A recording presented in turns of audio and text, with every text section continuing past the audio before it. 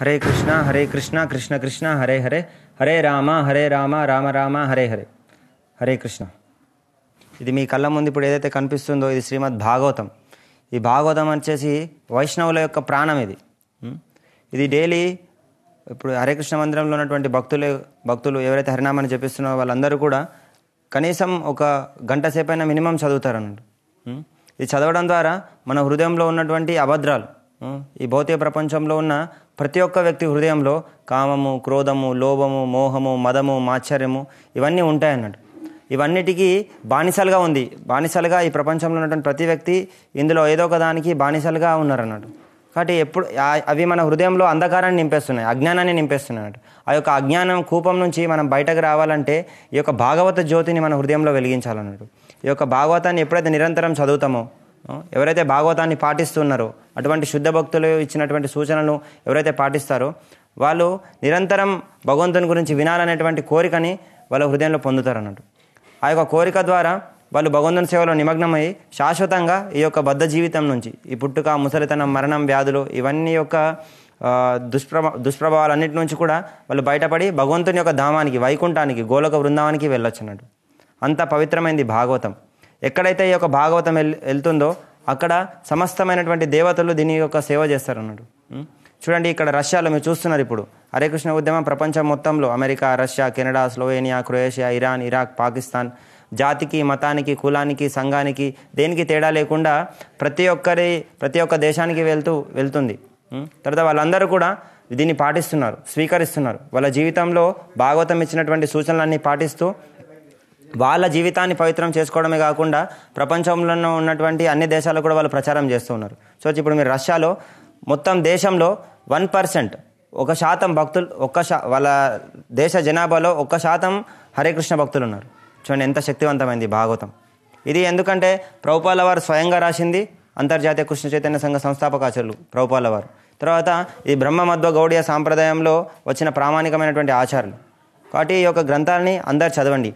ఈ యొక్క మొత్తం పన్నెండు స్కందాలు ఉంటాయి ఈ భాగవతంలో. ఈ భాగవతంలో మొదటి స్కందంలో వచ్చేసి సృష్టి ఏ విధంగా జరిగింది?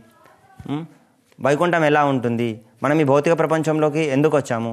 తర్వాత పరీక్షిత్ మహారాజ్ గురించి మహాభారతం గురించి వస్తుందన్నాడు. తర్వాత రెండవ స్కందంలో ఈ సృష్టి రచన బ్రహ్మ యొక్క జన్మ ఏ విధంగా జరిగింది? అతని ఈ సృష్టిని అంతా ఏ విధంగా చేశాడు? అనేటువంటిది వస్తుంది. తర్వాత మీకు మూడో స్కందంలో కపిల భగవానుడు వాళ్ళ తల్లి అయినటువంటి దేవాహుతికి ఈ సాంఖ్యాశాస్త్రాన్ని వివరిస్తారన్నాడు. ఇక్కడ మొత్తం సమస్తమైనటువంటి సృష్టి కూడా ఇరవై నాలుగు పదార్థాలతో ఇరవై నాలుగు ఎలిమెంట్స్తో తయారవుతుంది అన్నట్టు ఇప్పుడు శాస్త్రవేత్తలు ఎంతో ప్రయత్నం చేస్తున్నారు ఈ సృష్టి ఎలా జరిగింది ఏ విధంగా జరిగింది? ఎవరికి అంతు చిక్కడం లేదన్నట్టు. ఎవరు ఏ యొక్క కంక్లూజన్కు రాకులే రాలేకపోతున్నారు కానీ శాస్త్రంలో ఆల్రెడీ వివరించేశారన్నట్టు మొత్తం. ఏ విధంగా సృష్టి జరిగింది ఎందుకు జరిగింది దీని యొక్క ఉద్దేశం ఏంటిది దీని యొక్క పర్పస్ ఏంటిది అనేటువంటి క్లియర్గా ఇచ్చారన్నట్టు. ఇరవై నాలుగు మూల తత్వాల గురించి ఈ యొక్క బద్ధ జీవితం నుంచి ఏ విధంగా బయటపడాలి ఈ యొక్క మూడు గుణాలు ప్రతి ఒక్క జీవి మూడు గుణాల్లో బంధించబడి ఉన్నాడు అన్నట్టు సత్వ గుణం రజోగుణం తమో గుణం. ఈ మూడు గుణాల నుంచి బయటపడి ఆ గుణాతీతమైనటువంటి భగవంతుని శుద్ధ సత్వంలో ఉన్నటువంటి భగవంతుని యొక్క ధామానికి ఏ విధంగా వెళ్ళాలి అనేటువంటిది వివరిస్తుంది అన్నాడు తర్వాత నాలుగో స్కందంలో మీకు ధ్రువ వంశం గురించి వస్తుంది. ఐదో స్కందంలో మొత్తం గరుడ పురాణం గురించి వస్తుంది అన్నాడు రుద్రుని గురించి శివుని గురించి వస్తుంది జడభరతుని గురించి భగవంతుని యొక్క పవిత్ర భక్తులు పవిత్ర భక్తుల యొక్క లీలలు వస్తాయన్నాడు దీంట్లో. భగవంతునికి భక్తునికి మధ్య జరిగినటువంటి దివ్యమైన లీలల సంభాషణలు అవన్నీ వస్తాయన్నాడు. తర్వాత ఆరో స్కందంలో మీకు హరినామం అజామిలో పాఖ్యానం గురించి వస్తుందన్నాడు. ఈ హరినామం ఎంత శక్తివంతమైనంటే ఇప్పుడు సత్యయుగంలో కొన్ని లక్ష లక్ష సంవత్సరాలు వాళ్ళ జీవిత సమయం ఉండేది కానీ వాళ్ళు అంత ఎన్నో వేల సంవత్సరాలు తపస్సు చేయడం ద్వారా వాళ్ళు భగవంతుని ధామానికి వెళ్ళేది. తర్వాత ద్వాపర యుగంలో వచ్చేసి త్రేతాయుగంలో వచ్చేసి వాళ్ళు యజ్ఞాలు చేయడం ద్వారా భగవంతుని ధామానికి వెళ్ళేది. ద్వాపరయుగంలో యుగంలో వచ్చేసి విగ్రహారాధన చేయడం ద్వారా భగవంతుని దామంకి వెళ్ళేది. కానీ కలియుగంలో మనకు ఆయుష్ కూడా తక్కువ తర్వాత బుద్ధి కూడా. బుద్ధి కూడా అంత శక్తి ఉండదన్నాడు మనకు. సుమేధస్సులు కాదన్నాడు. కాబట్టి కేవలం మన యొక్క హరినామాన్ని స్వీకరించడం ద్వారా హరినామాన్ని యొక్క సాధన తీవ్రంగా చేయడం ద్వారా మనం భగవంతుని దామంకి వెళ్ళొచ్చు అన్నట్టు అందులో మీకు హరినామం యొక్క విశిష్టత మొత్తం ఆరో స్కందంలో వస్తుంది. ఏడో స్కందంలో ప్రహ్లాద మహారాజు ఇచ్చినటువంటి బోధనల గురించి వస్తుంది. భక్తి అంటే హృదయంలో ఎటువంటి భౌతికమైన కోరిక లేకుండా కేవలం భగవంతుని తృప్తి కోసం చేసేది నిజమైన భక్తి అన్నట్టు ఏదైనా కోరికతో చేసేది అది బిజినెస్ అవుతుంది అన్నట్టు కాబట్టి ఆ యొక్క పవిత్ర భక్తి చేసే స్థాయిలో ఇప్పుడు మనం లేము. కాబట్టి ఆ యొక్క పవిత్ర భక్తి చేసే స్థాయికి మనం ఏ విధంగా వెళ్ళాలి?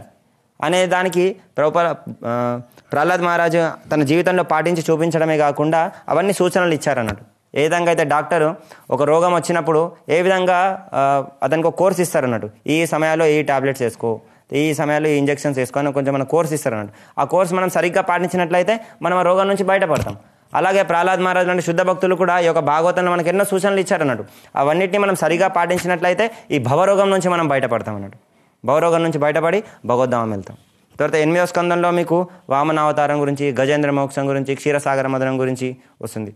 తొమ్మిదవ స్కందంలో మీకు రామాయణం గురించి పరశురాముని గురించి యయాతి మహారాజ్ యయాతి వంటి ఎంతో మహారాజుల గురించి వస్తుందంట. దశమ స్కందంలో ముఖ్యంగా దేవాది దేవుడు అయినటువంటి శ్రీకృష్ణ భగవాను గురించి వస్తుందన్నట్టు. బృందావనం మథుర ద్వారకలో కృష్ణుడు చేసినటువంటి దివ్యమైన లీలలు. భక్తునికి భగవంతుని మధ్యలో ఉన్నటువంటి సంబంధం చాలా పవిత్రమైంది అన్నట్టు చాలా శక్తివంతమైంది కూడా. కాబట్టి ఆ యొక్క భగవంతునికి భగవంతుని యొక్క గొప్పతనం ఏంటిది? భగవంతుని యొక్క సేవ చేయడం ద్వారా మనం ఏం పొందుతాం యాక్చువల్గా మన జీవితం యొక్క పరిపూర్ణత ఏంటిది? అనేటువంటి మనం దశమ స్కందం తెలుసుకోవచ్చు. పద పదకొండవ స్కందంలో ఆత్మతత్వం గురించి వస్తుంది.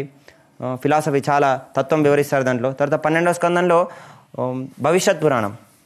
ఫ్యూచర్లో ఇంకేం జరుగుతుంది? భవిష్యత్తులో ఏ విధంగా పర్యవసనాలు ఉంటాయి? కలియుగంలో ఎంత నీచానికి దిగజారుతారు జనాలు? అనేటువంటిది వివరించారు అన్నట్టు ఈ విధంగా మొత్తం ఈ పన్నెండు స్కందాలు మొత్తం పద్దెనిమిది పుస్తకాలు వస్తాయి అన్నట్టు ఈ పన్నెండు స్కందాలు మొత్తం భగవంతుని యొక్క శరీరం అన్నట్టు. సో మొదటి రెండు స్కందాలు భగవంతుని పాదాలు తర్వాత రెండు స్కందాలు మోకాలు ఐదో స్కందం వచ్చేసి నాభి ఆరో స్కందం వక్షస్థలం ఏడు ఎనిమిది వచ్చేసి భుజాలు తొమ్మిదవది కంఠము పది వచ్చేసి ఫేస్ పదకొండు వచ్చేసి నుదురు పద పన్నెండు వచ్చేసి కిరీటం. ఇట్లా మొత్తం భగవంతుని యొక్క దివ్యమైన శరీరం అన్నట్టు. ఎవరింట్లో అయితే ఒక యొక్క భాగవతం యొక్క ప్రతిష్టాపన జరుగుతుందో వాళ్ళ ఇంట్లో స్వయంగా భగవంతుడు ఉన్నట్టు అన్నట్టు. ఇంకా వాళ్ళ ఇంట్లో డైలీ పారాయణం శ్రవణం కీర్తనం ఈ యొక్క భాగవతం యొక్క పారాయణం చేసినట్లయితే వాళ్ళు చదివినట్లయితే విన్నట్లయితే ఆ ఇంట్లో ఎటువంటి కలి ప్రభావం ఉండదు అన్నట్టు ఈ కలియుగంలో చిన్న విషయాలకే పెద్ద గొడవలు అవుతాయి. కలహాల యుగం కలియుగం కలహాల యుగం కపటాల యుగం అన్నట్టు. కపటం ఉంటుంది కలహాలు ఉంటాయి అన్నట్టు ఈ యుగంలో. ఎక్కడైనా ప్రతి ఒక్కళ్ళ హృదయంలో ఉన్నాయన్నట్టు ఆ యొక్క మనం ఎవరింటైతే ఈ భాగవతం శ్రవణం జరిగితే ఇవన్నీ వెళ్ళిపోతాయి అన్నట్టు. ఈ యొక్క కలి ప్రభావం వాళ్ళ ఇంట్లో ఉండదు అన్నట్టు ఈ విధంగా ఎన్నో ఉపయోగాలు ఉన్నాయి.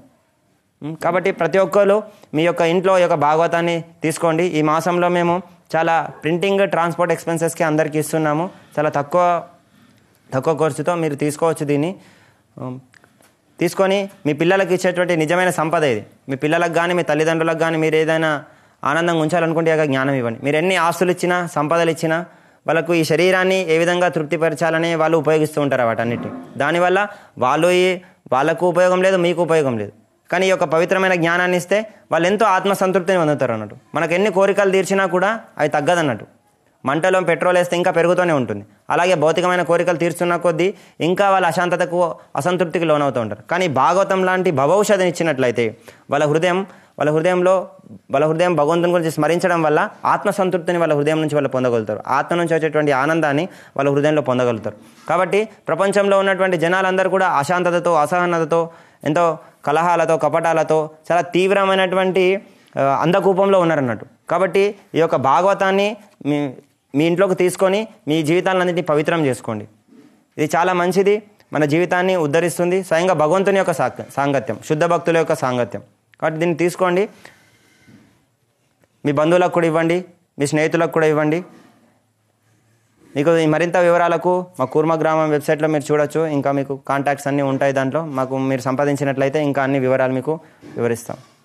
హరే కృష్ణ.